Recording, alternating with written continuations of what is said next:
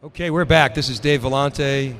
We're live at VMworld 2011, SiliconANGLE and Wikibon's continuous coverage of VMworld. It is uh, an unbelievable event, 19,000 people here. Uh, go to siliconangle.tv, go to siliconangle.com, get all the information on this event. Check out wikibon.org. We've got teams of people that are covering this show like a blanket. This is the storage optimization segment, and I'm here with Steve Kenniston, um, my friend, colleague, and, and co host sometimes. Hey, Steve. Dave. Good to see you again. Thanks for coming on. So, Steve, we're going to talk about uh, compression, and specifically, we're going to talk about real time compression. We have these spotlights uh, this year. They're in depth segments, they're sponsored segments, as you know. IBM sponsoring this one. You're with IBM. Um, so, I want to pick your brain about compression, real time compression, what it means, what you guys are doing, why it's different. I'm going to ask you some tough questions, but um, let's get into it. So, you were with Storwize. Storwize was acquired by IBM. Correct. Made an appliance, and and you guys today are selling an appliance. That's correct. So Right. we have an appliance that is uh, we call the IBM Real-Time Compliance for NAS. It's an appliance that sits, you know, on the opposite side of your storage switch, right in front of your uh, storage array. Right. So as data gets passed through the appliance, we do compression in real time. The interesting thing is, is as we do the compression, we compress the data before it gets to the array, which you know, I so yeah, you've got the right guy on. I'm not a sales guy, right? I'm a technologist, and I'll, I'll tell it like it is, right? So while I do believe, and I will agree with you, and this is probably one of your tough questions coming up, is uh, you know the embedded solution becomes maybe a little bit easier to to manage, right?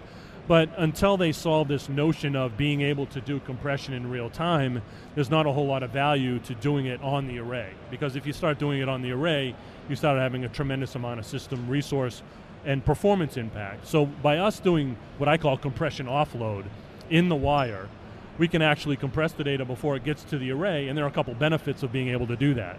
One of those benefits is that by shrinking the data before I actually move that disk actuator arm, I give a lot of those system resources back to this, uh, the storage CPU so it can actually do more work in, in the same amount of time. The other thing is by compressing it transparently before it gets to the array, whatever I get for a compression ratio, let's say just two to one for this example, I actually double my storage cache. And thirdly, because we actually do uh, read caching in the appliance, you actually get read cache hits out of the appliance as well. So we have customers with 65, 70% compression that actually get a performance boost because they're actually doing compression before it ever gets to the array. And that was one of my, my questions is the whole embedded thing. Now, you made a statement is really no value uh, if you're taking a big performance hit. Let's talk about that a little bit. There's value, but the value is not real-time value. It's, it's, it's with more stale data, data that's not accessed. Um, is that fair?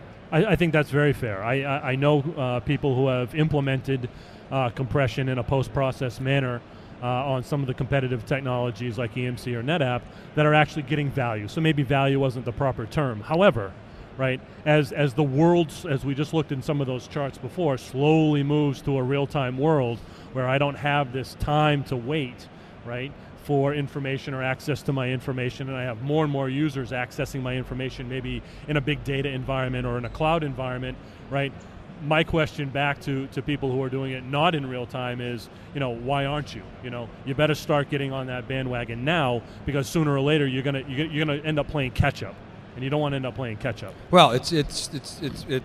And I, the reason I asked that value question is because it, to me, it speaks of a an architectural issue, maybe, um, or a paradigm problem. In other words, why is that stuff on primary storage to begin with? It's a very you good know, point. why not? You know, through some kind of whatever automated tiering or some kind of process, age-based classification criteria, whatever we want to use, get it off there, and maybe compress it before you get it off. I mean, tape has had compression for years, right? Sure. Um, so is that what most of this stuff does? Is like tape-like compression, or or So- is it or is it just keeping it on disk? Yeah. so, So, I think sell we, more disk. Yeah, we talked it, we talked in the spotlight a little bit before, right? So users are always afraid to throw stuff away, right? And that's understandable. You never know when you might need something. The question is, is there starts to be a, a, a disparity between the the information that you have online and available and your ability to access it and utilize it. And I think what we're seeing right now is people want that stuff online because of the what if or just in case. The issue is, is that if, as Right. I start to get applications that have the ability to access more capacity and do it faster, now all of a sudden I, bec- I make that data what was not as valuable more valuable. And the question, you know, we have to kind of wait for these analytic tools to kind of catch up to be able to, to have access to that information. But today, you know, IBM has, has five key technologies that they believe are, are that you need to implement for storage efficiency. You have uh, tiering, thin provisioning, virtualization, compression, and deduplication. Right? I'd say all but all but deduplication today is ready for prime time for what I would consider real time. I mean, if you think about the easy tier technology, right, we have the ability to move information by just looking at a, at a snapshot, not a snapshot, by looking at the data in real time and moving it to the right platform. Virtualization and thin provisioning, I think everybody would agree. Once you once you turn it on, it's kind of on. It just you, you virtualize and you thin provision. You know, you, you virtualize across your different data sets and you thin provision on the fly as you need to.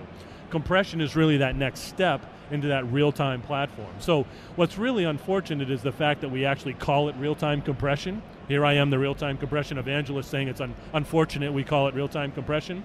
What we've actually invented, right, is this platform that allows you to do almost anything real-time. So today we actually plug in compression.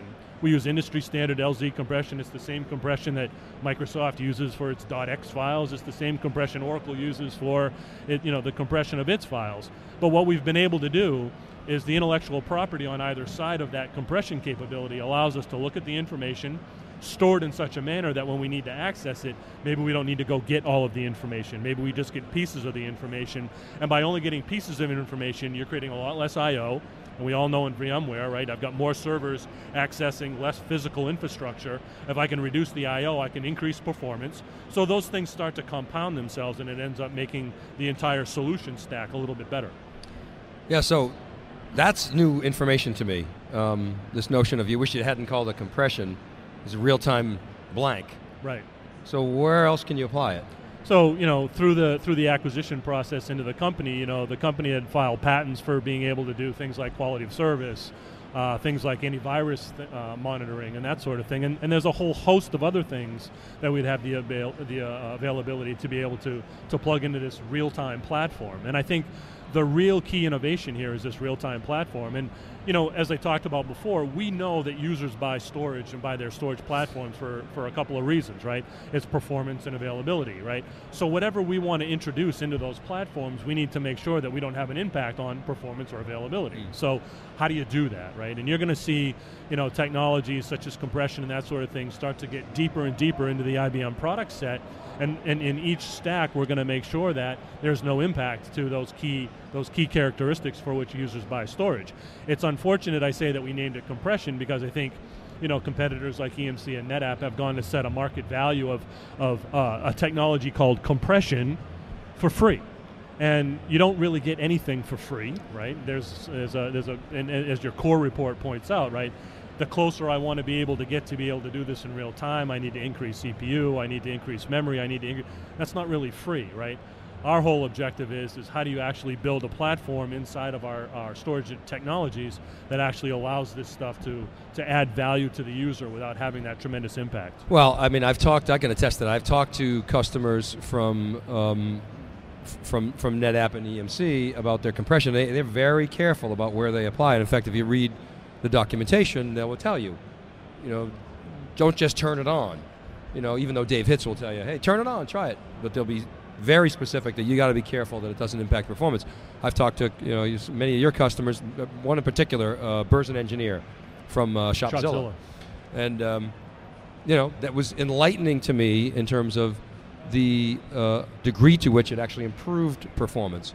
You know, the issue is you got to get more customers. So, and I think that the embedding that technology is really going to be a, a, a killer combination. So, I mean, are we talking? I don't know. You maybe you, can't, you maybe you can't say, but is it near term, mid term, or long term that that actually is going to happen? Actually, in the very short term, you'll see some stuff come out around the V7000 technology that IBM announced last year, right? Last fall, The- right. Yeah. So the, the continuation of moving those five key, those five essential uh, optimization technologies or storage efficiency technologies going into those into those platforms. There's there's other platforms that'll be right around the corner before the end of the year, and then there are other platforms that'll be will be longer term, right? Where that those uh, where the real time platform will be will be embedded. Excellent. All right, Steve. Well, listen, we're out of time. I appreciate you coming on, and uh, and thanks very much for helping me out today with this uh, with this spotlight. Uh, we've got a, a, great panel coming up. Uh, this is the storage optimization spotlight at VMworld 2011. I'm Dave Vellante, and I'm here with Steve Kenniston. I'm with Wikibon.org, and this is SiliconANGLE's continuous coverage of VMworld 2011. We're here from Vegas. Go to siliconangle.com, siliconangle.tv. Check out uh, Services Angle, our newest publication. Uh, check out Cloud Angle. Uh, check out wikibon.org for all the coverage. Uh, we'll be covering this show uh, like a blanket. SiliconANGLE, the worldwide leader in tech coverage, and we'll be right back.